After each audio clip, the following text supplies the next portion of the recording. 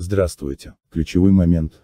Мощность реакторов проекта 627 была куплена ценой безопасности и надежности. Соединенные Штаты запустили в 1954 году первую атомную подводную лодку «Наутилус», которая произвела фурор. Реактор позволял работать под водой в течение нескольких месяцев. В следующем году Союз начал строить свою собственную атомную подводную лодку, проект 627, класс НАТО «Ноябрь». Результатом стала лодка с преимуществами по сравнению с американскими конкурентами, но она также продемонстрировала тенденцию к авариям, которые могли бы стать постоянными для растущего советского подводного флота во время Холодной войны. Головной корабль проекта 627 «Ленинский комсомол» был спущен на воду в 1957 году и совершил свой первый выход в июле 1958 года под командованием капитана Леонида Осипенко. Конструкция реактора создавалась под руководством известного ученого Анатолия Александрова. Корабль водоизмещением более 4000 тонн и длиной 107 метров. К-3 быстро продемонстрировал необычайную автономность атомных подводных лодок, отправляясь в двухмесячные подводные походы. В 1962 году он стал первым советским судном, которое совершило поход на Северный полюс, в то время как родственное судно К-133 стало первой лодкой, которая пересекла пролив Дрейка, во время автономки продолжительностью 52 дня. Вскоре к К-3 присоединились еще 12 кораблей пересмотренной конструкции, проект 627 «Акит», отличающихся выпуклым куполом эхолота под носом, а также один прототип проекта 645, работающий на экспериментальном жидкометаллическом реакторе ВТ-1 с большей энергоэффективностью. Лодки были отправлены в 3-ю и 17-ю дивизии Северного флота, хотя позже 4 были переведены на Тихоокеанский флот транзитом через Арктику. Реакторы проекта 627 были более мощными, чем их американские современники, разгоняя субмарину до 30 узлов. Однако они были очень шумными, что делало их легко обнаруживаемыми, несмотря на использование скрытых винтов и первого антисонарного покрытия.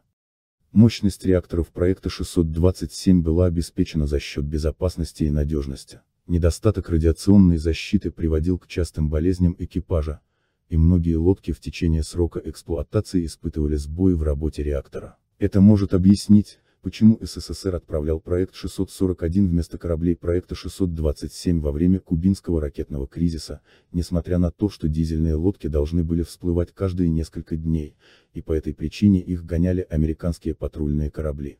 На самом деле, некоторые считают, что частые бедствия на борту лодок проекта 627 отражают не только технологические недостатки, но и слабую культуру безопасности советского флота, с чем я категорически не согласен.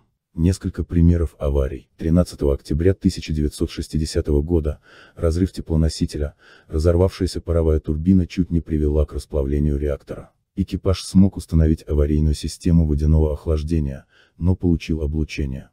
В феврале 1965 года радиоактивный пар взрывался в двух отдельных случаях, пока один из кораблей проходил дозаправку на базе. Ремонтные бригады неправильно диагностировали последствия первого события и следовали неправильным процедурам во время второго, в конечном итоге были вынуждены покинуть помещение реактора, что привело к возникновению пожара по всему кораблю. Одиночная лодка проекта 645, авария на реакторе 24 мая 1968 года в Баренцевом море, несмотря на предупреждение экипажа о том, что реактор испытал аналогичную неисправность в 1967 году.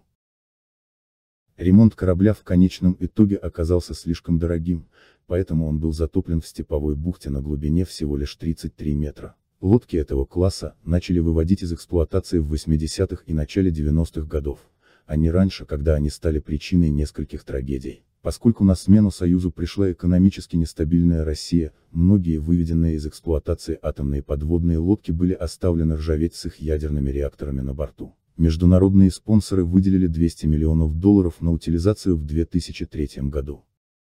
Это всего лишь некоторые аварии на судах проекта 627, еще больше произошло на подводных лодках других типов, оборудованных такими же ядерными реакторами. Но подводные лодки сами по себе высокоопасный вид вооружения. В заключение хочу сказать, что подводные лодки проекта 627, возможно, не были особенно тихими охотниками, но стали прорывом в обеспечении глобального охвата акваторий советскими субмаринами. Они также дали болезненные уроки, которые были оплачены человеческими жизнями, ранениями, показали риски, связанные с эксплуатацией ядерной энергетики, и высокую цену, которую нужно платить за технические ошибки и посредственный контроль процедур безопасности. Всем добра, ставьте лайк и подписывайтесь на канал.